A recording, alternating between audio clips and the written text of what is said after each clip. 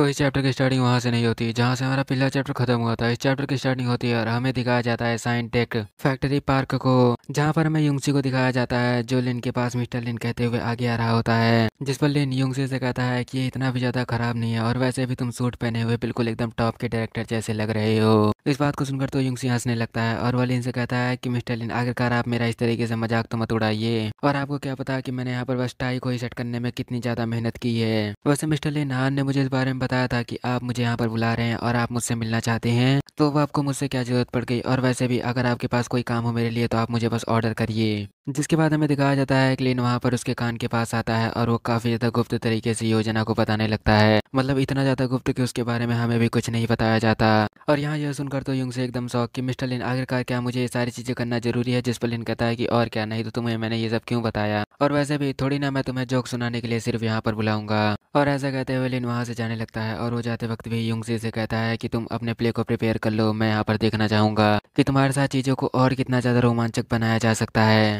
जिसके बाद हमें दिखाया जाता है कि लिन वहाँ से साइन टेक फैक्ट्री के मैनेजमेंट डिपार्टमेंट के ऑफ़िस की तरफ़ आ चुका होता है। और उस ऑफ़िस के अंदर हमें दिखाया जाता है जिनको जो कि वहाँ पर कंप्यूटर के ऊपर वर्क कर रही होती है। जिसके बाद हम देखते हैं कि लिन वहाँ पर पहले दरवाजे को खोलता है और उसके बाद नॉक करता है। जिस पर जिंग जैसे ही पीछे मुड़कर देखती है, वो वहाँ पर देख कर लिन को काफ़ी ज़्यादा खुश थी और वह लिन से कहती है कि, मिस्टर लिन, आखिरकार आप और यहाँ पर आप मुझे बता दे तो मैं बाहर आपका इंतज़ार कर रही होती पहले से ही। जिस पर लिन कहता है कि, नहीं नहीं, तुम्हें ऐसा करने की कोई भी ज़रूरत नहीं थी और वैसे भी मैं तो यहाँ पर इतने दिनों के बाद यही देखने के लिए आया था।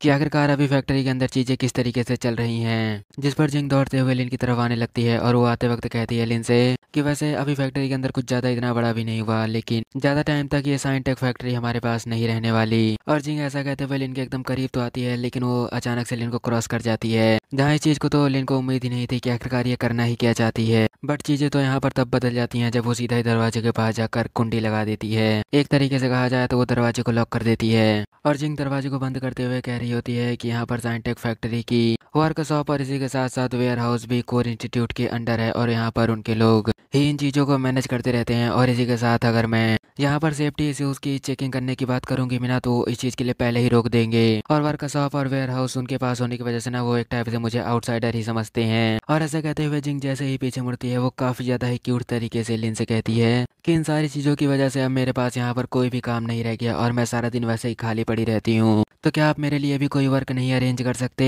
क्योंकि अगर ये होगा ना तो मैं इसे ज़रूर करना चाहूँगी। और वैसे भी इस तरीके से काम करते हुए मुझे कभी कभी ऐसा लगने लगता है ना कि मैं यहाँ पर बस कोई काम नहीं करती, बल्कि बैठे बैठे दिन भर फ्री में बस सैलरी ही लेती रहती हूँ। जिस पर लिन कहता है कि अगर ऐसी बात है तो फिर तुम इसके अंदर इतनी ज़्यादा जल्दी क्यों करना चाहती हो? और वैसे भी हमारा साइंटेक का बिज़नेस जो कि कोर इंडस्ट्री की तरफ़ से है, वो जल्दी ही समाप्त हो जाएगा।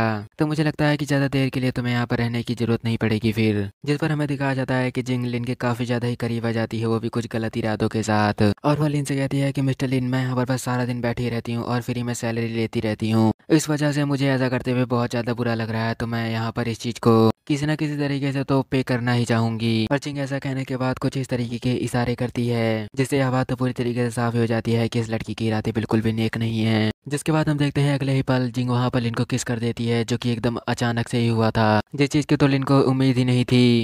जिसके बाद हम देखते हैं कि जिंग यहाँ पर एकदम शर्मा रही थी ऐसा करने के बाद, और वो कुछ और भी चीज़ें करती है जिसके बारे में। मैं आगे ना ही एक्सप्लेन करूँ तो ज़्यादा ही बेहतर रहेगा। आप लोगों के लिए नहीं, बल्कि मेरे चैनल के लिए। जिसके बाद हमें दिखाया जाता है कि लिन जिंग को सीधा ही किसी सरफेस के ऊपर धक्का देता है। जिसके बाद हम देखते हैं लिन की स्माइल को, जो कि बिल्कुल भी नेक नहीं लग रही थी, और वो ऐसी स्माइल करते हुए कहता है जिंग से कि ठीक है, जैसा कि तुम चाहती थी इसे पे करना तो ठीक है, चलो इसे अच्छे से पे करते हैं। और ऐसा तुम ही करना चाहती थी तो इस चीज़ के लिए बिल्कुल भी मुझे दोष मत देना। जिसके बाद हमें दिखाया जाता है मतलब आगे की सीन ही पूरी कट हो जाती है और हमें कुछ भी नहीं दिखाया जाता। जिसके बाद हमें सीधा ही एक घंटे बाद का सीन दिखाया जाता है, जहाँ पर लिन जैसे ही दरवाज़ा खोलता है। इसके बाद हम देखते हैं कि वहाँ पर दरवाजे के बाहर पहले से ही साउस यानी और उसके साथ उसकी सेक्रेटरी खड़ी हुई थी। जहाँ पर सेक्रेटरी को तो अंदर की सारी चीज़ों के बारे में पहले से ही समझ आ चुका था, पर यहाँ पर साउस यानी को इस बारे में कुछ भी नहीं समझ आया हुआ था और वो कहता है, लिन से क्या कार मैं एक घंटे से यहाँ पर खड़ा हूँ? क्या तुम्हारे कानों में कोई गड़बड़ी है क्या?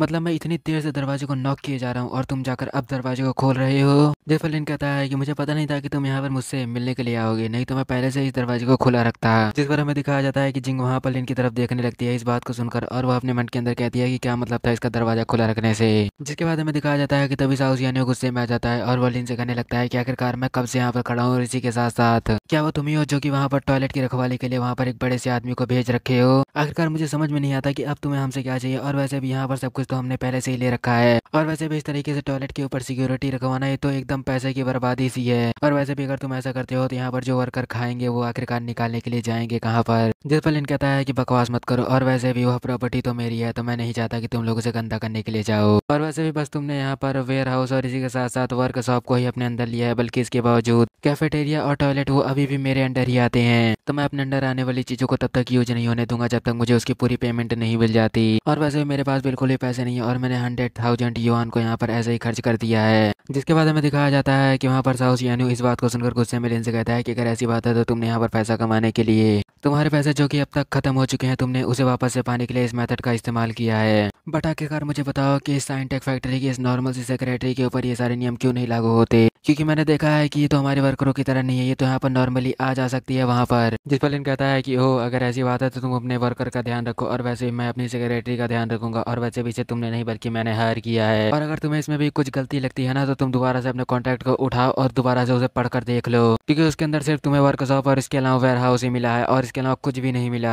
इसलिए जो चीज़ तुम्हारी नहीं है, उसके लिए तो तुम्हें उसका यूज़ करने के लिए पैसे पे ही करने पड़ेंगे।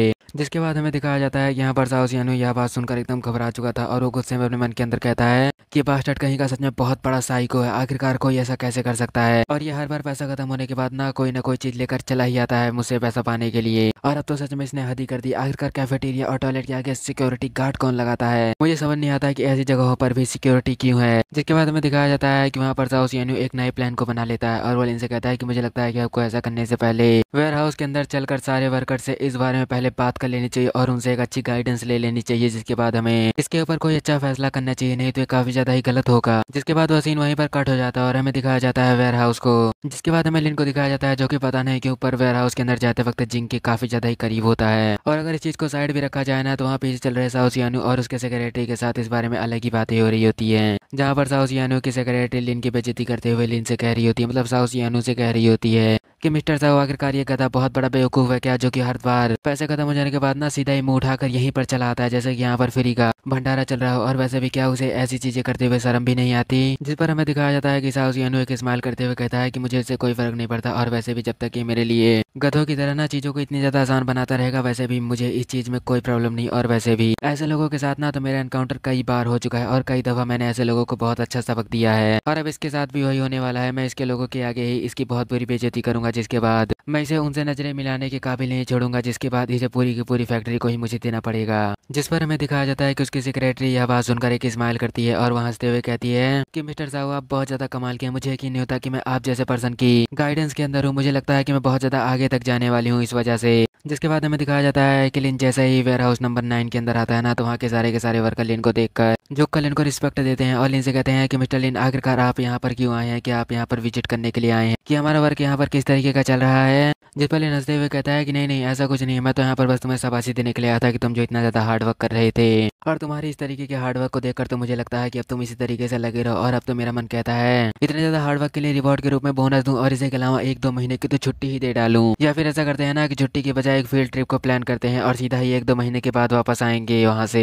जिस पर हमें दिखाया जाता है साउस यानू को, जो कि इन सारी चीज़ों को देखकर एकदम हैरान था और वो घबराते हुए अपने मन के अंदर कहता है कि आखिरकार ये साला बास्टर्ड यहाँ पर करने के लिए आया ही क्या है? और वैसे भी, यहाँ पर हमारे बीच बात किस चीज़ की हुई थी और ये यहाँ पर आने के बाद बात किस चीज़ की कर रहा है? और अब क्या ये ऐसा कर यहाँ के सारे वर्कर्स को यहाँ से भगाना चाहता है क्या? लेकिन तभी हमें युंगसी को दिखाया जाता है, जो कि वहाँ पर कहता है, मिस्टर लिन से कि मिस्टर लिन मुझे लगता है कि मुझे आपसे किसी चीज़ के बारे में बातें करनी है। जिस पर लिन कहता है कि, ठीक है, तुम मुझे फॉलो करो, हम इसके बारे में चलते हुए बातें करेंगे। जिसके बाद हम देखते हैं कि लिन जाते हुए साउस यानू की तरफ़ देखता है और वो युंगसी को बताने लगता है। तुम्हें पता है कि यहाँ पर साउस यानू यहाँ पर जोंगहाई के अंदर कोर इंस्टीट्यूट के से हैं और वैसे भी तुम्हें कोर इंस्टीट्यूट के बारे में पता ही होगा जो कि जोंगहाई के अंदर है। जिस पर साउस यानू कहता है कि मिस्टर लिन आखिरकार ये आप किस तरीके की बातें कर रहे हैं? और वैसे मेरा बिज़नेस तो आपके सामने तो कुछ भी नहीं है तो आखिरकार आपको इस तरीके की बात करने की कोई भी ज़रूरत नहीं है। जिस बात को सुनकर लिन कहता है कि, ठीक है, अगर ऐसी बात है ना तो युंग से सुनो, जो कि हमारे पास चार वेयर हाउस पड़े हुए हैं ना, उसे मैंने चेक किया है और उसके अंदर बहुत सारे सामान पड़े हुए हैं तो तुम उन सामान को बेच दो। और मुझे यकीन है कि उनसे काफ़ी अच्छे खासे पैसे हमें मिल जाएँगे। और ऐसा कहते लिन पीछे मुड़ता है और वो साउसियानू से कहता है कि वैसे मिस्टर साउसियानू मैंने जब आपको पहली दफ़ा देखा था ना,